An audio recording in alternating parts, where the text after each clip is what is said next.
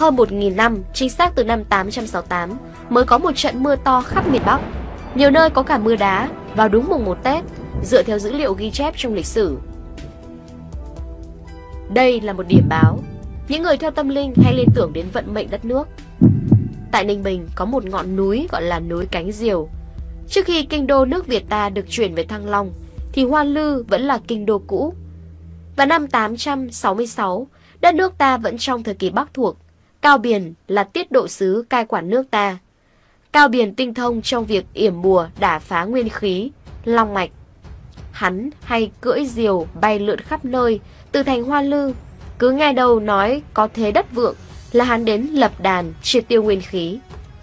Một vài nơi, hắn đã lập đàn yểm như sông Tu Lịch, Nghi Xuân Hà Tĩnh, Hà Nam.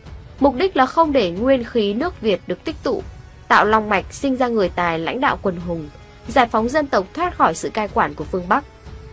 Một lần hắn nghe nói tại các đồi phía Tây Bắc là khu vực khu Sơn Tây ngày nay, có thế đất tốt đang tích tụ nguyên khí, nếu không phá, chỉ trăm năm nữa, hội đủ điều kiện sinh ra nhân tài. Hơn thế nữa, vùng đất ấy có thế vững là điểm tựa cho vùng đất phía dưới, tức Thăng Long sau này, xây thành lập triều lưu danh thiên sử. Như mọi lần, hắn lại cưỡi diều bay đi khảo sát.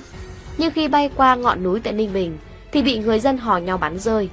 Sau này ngọn núi này gọi là núi Cánh Diều tại Ninh Bình.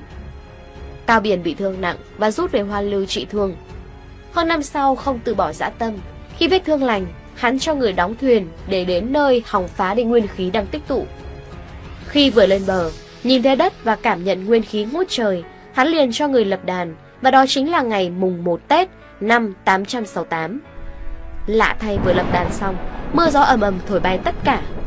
Lần thứ hai rồi thứ ba đều vậy. Lần cuối cùng Cao Biển bị thổi tung lên không và rơi xuống đất bất tỉnh.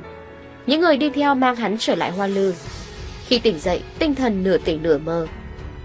Thời gian sau, hắn được triều đình phương Bắc, khi đó là nhà đường, đường tông ý triệu hồi về nước. Sau này câu chuyện của Cao Biển truyền đi khắp nơi, dân ta cũng càng vững tin nước Nam sẽ sớm có người anh hùng cái thế, quy tụ hiền tài, đánh đuổi ngoại xâm giành lại độc lập. Quả đúng như mong đợi, năm 938, Ngô Quyền, người sinh ra ở đường Lâm Sơn Tây và năm 879 đã tiêu diệt Kiều Công Tiễn, đánh đuổi quân Nam Hán và lập nên triều đình nhà Ngô, chính thức kết thúc 1.000 năm Bắc thuộc. Thật đúng là thuận thiên thừa vận, những gì Cao Biển muốn làm tại Sơn Tây không thuận theo trời đất nên bị quả báo. Nói thêm rằng hơn trăm năm sau, từ những ghi chép để lại, năm 1010, một vị vua lỗi lạc khác của nước ta, Lý Công Uẩn, chính thức rời đô từ Hoa Lư về nơi Hoàng thành Thăng Long như chúng ta biết ngày hôm nay. Vua rời đô với hy vọng xây dựng kinh đô tại nơi nguyên khí trời đất luôn được sinh ra để dân tộc Việt mãi trường tồn cùng thời gian.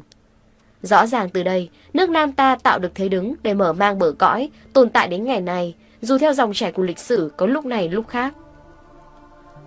Quay trở lại vào năm 2020, vào ngày mùng 1 Tết, từ thời khắc giao thừa, toàn miền Bắc, trời mưa trắng xóa, giống đúng như ghi chép thời tiết ngày nào mà Cao Biển lập đàn nhằm đả phá nguyên khí nước Nam năm 1334 năm trước. Năm canh tí 2020 rõ ràng là điểm báo cho vận mệnh tốt của dân tộc ta. Đồng nghĩa, nguyên khí quốc gia đã lại hội đủ thêm một lần nữa. Quay ngược thời gian, từ thời Pháp thuộc, nước ta chiến tranh liên miên, hết đánh Pháp rồi Mỹ.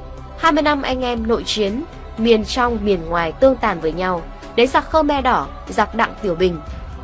Phải đến những năm 1986 trở lại đây, chúng ta mới tạm yên bờ cõi và công cuộc mở cửa phát triển kinh tế bắt đầu. Từ một nước nghèo nàn, đi tụt lùi bởi chính sách kinh tế sai lầm, chúng ta đã dần thay đổi từ nhận thức, trọng tâm đến hành động trên thực tế để tìm ra hướng đi và ít nhiều gặt hái được thành công. Nhưng thành công đó thực sự chưa tương xứng với tầm vóc của dân tộc ta. Chúng ta vẫn thiếu một thứ gì đó để dân tộc trở nên hùng cường, và thứ thiếu hụt chính là nguyên khí quốc gia.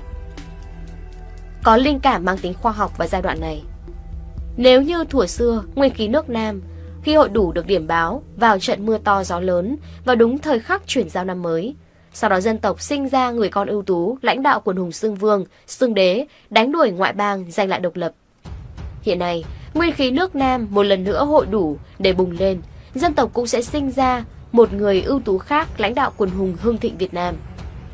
Mưa to gió lớn vào thời khắc chuyển giao, vừa giống như điểm báo, vừa giống như gột rửa những ô nhục, tủi hờn đã kìm kẹp dân tộc ta sau nhiều năm đói kém.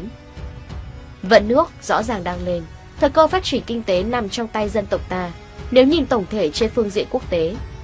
Trung Đông bất ổn, một Trung Quốc gặp quá nhiều vấn đề trong tham vọng bá quyền. Châu Âu thiếu động cơ và cạn kiệt nguồn lực. Đông Nam Á, với mỗi nước có một vấn đề riêng, chỉ có chúng ta đang hội đủ điều kiện. Chúng ta có ổn định xã hội, chúng ta có sức trẻ, chúng ta nằm trong vị trí thuận lợi về địa lý. Giờ chúng ta chỉ cần người tài để khai thác những điểm yếu của các nước, các khu vực để phát triển. Đất nước đó một năm kỳ lạ về thời tiết, nhưng nếu suy xét kỹ lại thì không kỳ lạ về tâm linh.